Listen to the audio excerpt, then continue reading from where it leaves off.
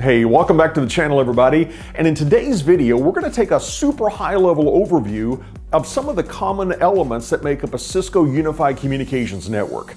Now, if you've been following me for a while, you know that I've got a real passion for the collaboration track in the world of Cisco. And the reason is it goes back literally to my birth. This is legit. Check out this picture. This is a picture of me in a telephone central office. My milk is being warmed on a soldering iron in the background. My dad's holding me. My dad was a central office supervisor at our local uh, GTE telephone office for many, many years. So I grew up in and around a telephone environment. And I have seen telephony evolve from, no kidding, this is the actual phone that my family had when I was born. This phone is older than I am. It's an old rotary phone.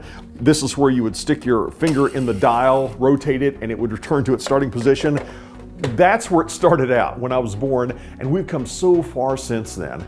And today, I just unboxed this guy just a few days ago, brand new from Cisco. This is a Cisco 8865 video phone that we're going to be able to hook up and have it communicate and register with a Cisco Unified Communications Manager server. And as I build out the collaboration track, I'm going to be dripping some of that content here on the YouTube channel. And to set the groundwork, I thought we should probably first, as we're going to do in today's video, give you an idea of some of the different pieces and parts that make up a Cisco Unified Communications Network. Now, disclaimer, this is not going to be comprehensive. You're going to say, oh, he didn't talk about Cisco Unified Contact Center Express. The reason I selected the devices that I've selected for this video those are the devices that I want you to know for Cisco's CL Core exam the collaboration core exam. So we're going to take a look at those specific devices. And then over the next few weeks, you'll see me pop in some other collaboration content here on the YouTube channel. And as always, if you enjoyed today's video, please give me a like down below and subscribe so you don't miss any of our weekly content. Now, let's take a high level overview of some of the players that make up a Cisco Unified Communications Network. Let's take a look in this video at some of the devices that we might find in an enterprise unified communications network. And this is not going to be a comprehensive listing. There are other Cisco Unified Communications components, but these are the ones specifically that I want you to know for the CL Core exam. First, let's imagine that we have an internet connection coming into our enterprise, coming into our router, and that router connects out to a switch which is going to connect to other devices. One of our main unified communications devices is a Cisco Unified Communications Manager, or a CUCM uh, for short. Now, some people will call this a call manager because back in the day, uh, it used to be called the call manager several years ago, but now call manager is technically not the name of the server. Call manager is the name of a service that runs on the server. But what is this Cisco Unified Communications Manager server? Well, it's referred to as a call agent. This is essentially a PBX replacement. It's going to make our call forwarding decisions.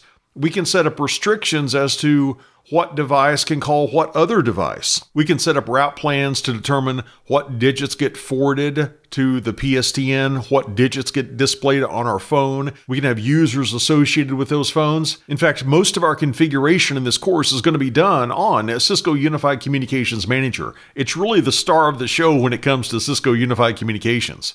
But notice that I've got this labeled as CUCM Pub. That's to indicate that this is a publisher server. And a publisher server is going to keep a read write copy of the database that's going to be shared by all the servers within a cluster.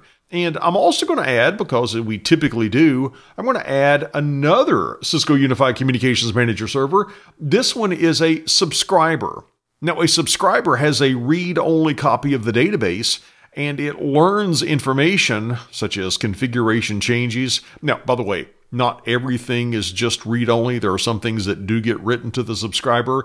But the big definition I want you to know is that it has a read only copy of the database and it's going to learn configuration from the publisher. And the reason we might have a couple of servers, number one, is for redundancy. If one server goes down, the other server, if it has the capacity, can take over the responsibility of registering all the phones that had been registered to the other server. It's also going to give us some load balancing so one processor doesn't have to bear the load of all of the phones on the network. But Cisco Unified Communications Manager does not give us voicemail, for example, as a feature. We need something else to do what is called unified messaging. And the enterprise level unified messaging solution is Cisco Unity Connection. And we abbreviate that as CUC for short.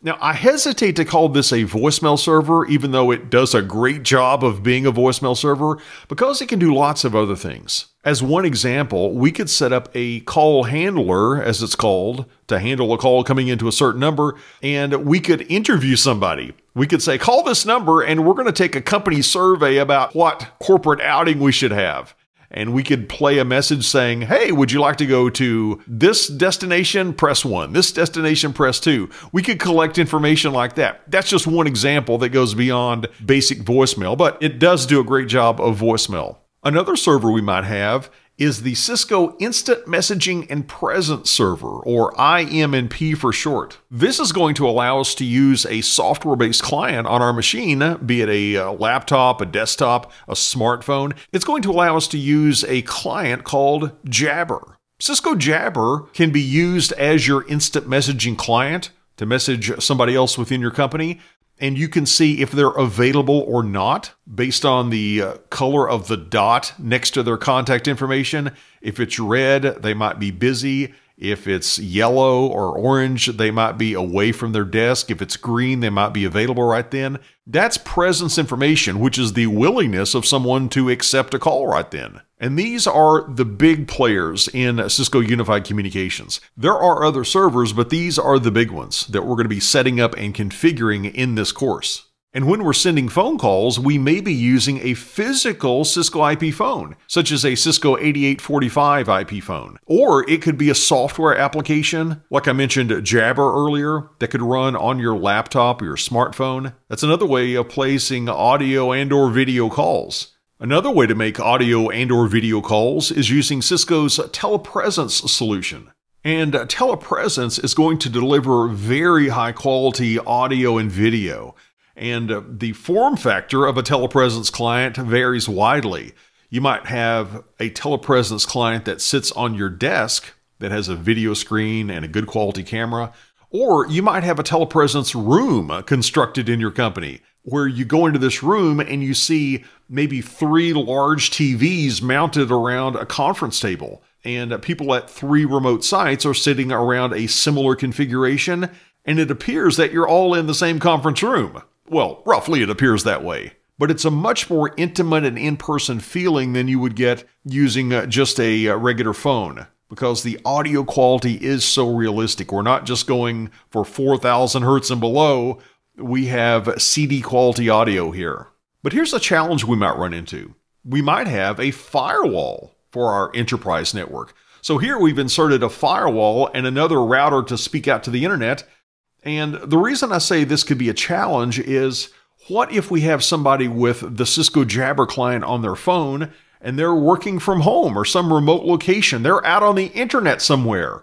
How can they get in to the communications manager and register with the communications manager and the IM and Presence server and the CUC server? Because the firewall is going to block them. Well, Cisco has a solution for that. They describe it as a firewall traversal solution. The specific product they have is called Cisco Expressway. And here we're going to have a couple of Expressway servers. I'm going to have one hanging off of that internet facing router, and I'll have one on the inside of our network. And notice that one expressway is labeled with an E and one is labeled with a C. Here's what's going on. The E stands for edge. It sits at the edge of our network, not protected by the firewall. So that Jabber client, it could connect to that Expressway Edge server. Now I've got a server on the inside of my network, the Expressway C, and the C stands for core. The Jabber client would not be able to speak directly with that device. So here's what's happening. The uh, Expressway core it forms a tunnel through the firewall with the Expressway E, the Expressway Edge, in other words. And our Jabber client out on the internet, it can connect to the Expressway Edge server, and then it's going to be able to use that tunneled connection between the Edge and the core Expressway servers to get into the network and register with our internal servers. The question is, who does that Jabber client point to to get to the Expressway server, which is going to get it to the Communications Manager server? Well, there's going to be a DNS server on the internet that internet based Jabber clients are going to use that will point to the Expressway Edge server. And that's their pathway to get into the Communications Manager server. But for clients that are already on the internal network, they need another DNS server. Notice we've got a DNS server on the internet that's going to point our Jabber client to the Edge Expressway server, and I've got a DNS INT for internal server. And when my internal clients try to resolve the communication manager's IP address, their response is going to be the actual IP address of the communications manager. But when that Cisco Jabber client on the internet says, all right, what's the IP address of this communications manager server? The internet based DNS server is going to give it the IP address of the Expressway Edge. So we've got to have two different DNS servers that will answer the same question differently depending on whether the client is inside of the network or outside of the network. We might also want to connect that router out to the PSTN that's connecting out to the internet. The PSTN, that again is the public switched telephone network. That's the worldwide telephony network. And that router that gets us out to the internet, if it's got the right feature set and the right interfaces in it, we can have it act as a voice over IP gateway. And we're going to see in this course how to configure that router in a variety of ways. We can make it a SIP gateway running the session initiation protocol. We can make it an H.323 gateway. We can make it an MGCP gateway. We'll see how to set all of that up. But realize the router, that can give us a path out to the PSTN. Another device that we might have in our network that we need to know for this CL Core exam is called a cube, which is short for a Cisco Unified Border Element. And what this does, it will join together two different call legs. Notice the icon for the cube. It looks like there are a couple of separate calls going on, and the cube is the connective tissue that joins those together. For example, let's say that I want to connect out to an internet telephony service provider. In other words, I'm not going out to the PSTN directly myself. I'm going to connect to an IP telephony service provider via IP and they'll get me to the PSTN. I don't need all those digital circuits going out to the PSTN. Well, that call leg might have certain parameters. Maybe we need to be using SIP, the session initiation protocol, on a particular port, but maybe that's very different than what we use internally. Internally, we might be using SIP differently. We might be using H.323. For whatever reason, we need to take these two different call legs one from the cube out to the internet telephony service provider and one from the cube back into the network we need to take those two call legs and join them together. That's what the cube is going to do for us. And by the way, you might also hear that cube referred to as a SBC for Session Border Controller. And at this point, our Cisco Unified Communications Manager devices are primarily at the enterprise location, at the headquarters. But what if we have a remote office? Well, we might reach that remote office over an IP WAN connection. Maybe it's Metro Ethernet, maybe it's some sort of MPLS, but some way we have a WAN connection that's getting us over to a remote office. And that remote office, they also have IP phones. And one option is for those IP phones to register over the WAN. It's possible that they could register with the communication manager servers back at the headquarters. But I want to show you another option. Another option is for that remote site to have their own call agent. Now, maybe it's not economical to buy a uh, Cisco Unified Communications Manager publisher and then an additional Cisco Unified Communications Manager acting as a subscriber. What we can do instead is have a Cisco router act as that call agent. We can have a Cisco Unified Communications Manager Express. So instead of a CUCM, we've got a CUCME where the E is Express. That is a less feature rich call agent as compared to the Cisco Unified Communications Manager, but it's still very robust. It's going to give you a lot of telephony features for a remote office. And that router can get that remote site out to the internet, to the PSTN, because it can act as a gateway, and out to the IP WAN to get back to the headquarters. Now, internally inside that remote site, the CUCME router might connect to a switch which might have one of our Cisco IP phones connected to it. Not just physical phones, we could still use Cisco Jabber, but what about voicemail? Or I should say unified messaging, because it does so much more than just voicemail. What is our unified messaging solution? Well, one option is to use something called Cisco Unity Express, Remember our messaging solution back at the headquarters was to use Cisco Unity Connection. Well, here we're using Cisco Unity Express. And this can come in a couple of different form factors.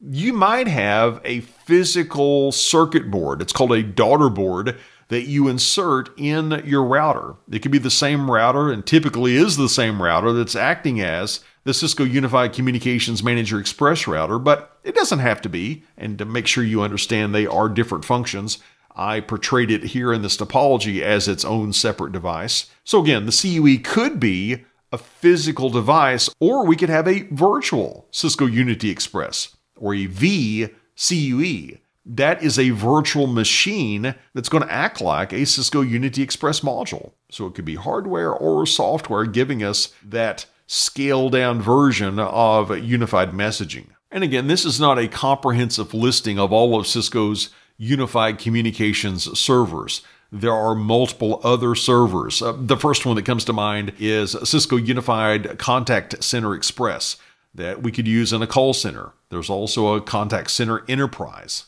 And the list goes on and on. But here we're focusing on the Cisco Unified Communications services that you need to know for the CL Core exam.